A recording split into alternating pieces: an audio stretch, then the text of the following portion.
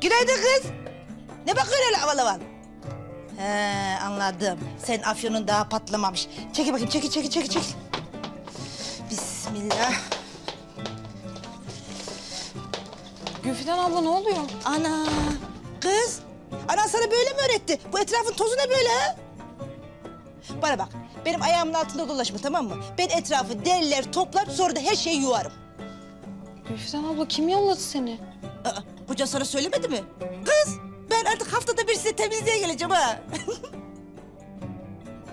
Aşk olsun be anne.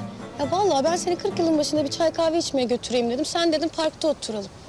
Kızım ben sana kıyamet koptu diyorum. Vallahi o cadoloz seyeri bizi vanadan çıkardı ki Mehmet sabahın görmen lazımdı. Ha şimdi eğri otur doğru konuş. Vallahi billahi yani kız bu sefer haklıydı. Fakat öyle bir çatal dili var zehirli zehirli vallahi. Dünyada abim onunla yalnız bırakıp da bir şey yapamam yani bırakamam. Hay Allah ya. Yani şimdi Mehmet abinin de yaptığı iş mi? Çok ayıp etmiş anne. Ne yapacaksın kızım? Onlar da böyle bir kimseler işte. Boş ver onlar da senin kocanlar anlasın. Aynı işte anne. Ne olacak ki? Ne değişecek ki zaten? Geceleri Emir'in çalıştığı yere gidiyor. Sonra bekliyorum eve geliyor. Duyuyorum da geldiğini. Öyle üstü başıyla yatıyor işte. Olsun kızım. Sen sabahdan kalkınca gene güler yüzün eksik etme olur mu yavrucuğum? Ha ne olacak? Bak gidiyor damadımızın yerine gidiyor. Hani bırak gezsin dostum. Fazla üstüne varmaya gelmez bunlar. Nereye kadar gezecek? Hep gezen var mı? Elbet bir gün gelip durulacak. Ha, yeter ki o sarı karıya gitmesin de.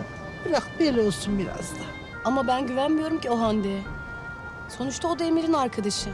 Bir de yetmiyormuş gibi şimdi Feriha'nın da arkadaşı oldu. Ya Koray'ın aklını başına tekrar çelerse? Ama kızım Allah korusun. Olur mu öyle şey? Orası bizim yani sonuçta damadımızın çalıştığı bir yer. Sen Feriha'yı boşlama kızım. Ona söyle bakalım bir kocasının ağzını yumruklasın. Ne yapıyor seninki oralarda falan bir haber getirsin. Anne Allah aşkına benim Feriha ile görüştüğüm mü var? Bir kere aramadı bile Feriha. E şimdi de Hande ile görüşüyor ya onun tarafına geçmişse? Yok artık o kadar olur mu canım? Cık, Ha, hiç mi aramadı kız? Cık, Vay nankör vay Allah. Sen dur ama ben bunun hesabını soracağım Feriha'dan. Hadi şimdi ben fazla oyalanmayayım gidin pazara da o çatal diliyle abim yalnız. Hadi. Hadi güzel kızım. Hadi.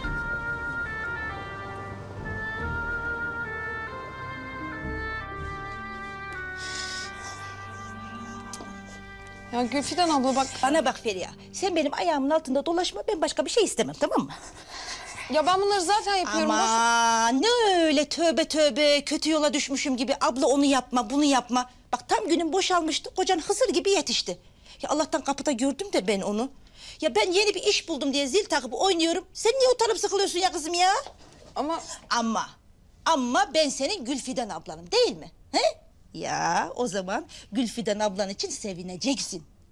Ablam o suratsız karıların evlerini temizlemeye gitmedi. Benim evimi temizlemeye gitti. Parasını da cebine koydu, oh diyeceksin. Kız, bu benim işim, mesleğim. Niye utanıp sıkılacakmışım ha? Allah Allah. niye utanıyorum? Heh, oldu mu şimdi? Tamam. Hadi o zaman ben evin hanımının ayağımın altında dolaşmasından haz etmem. Giyin, süslen, yallah dışarıya. Haydi bakalım.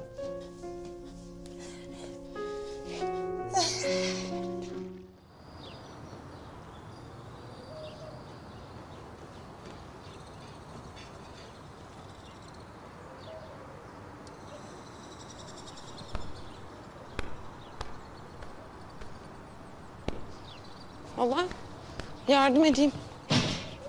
Teh sana kız. Ananın can dostuna ha. Teyze yarına böyle pisliğini temizletiyorsun ha. Hala bak anlamıyorsun. Ne anlamayacağım.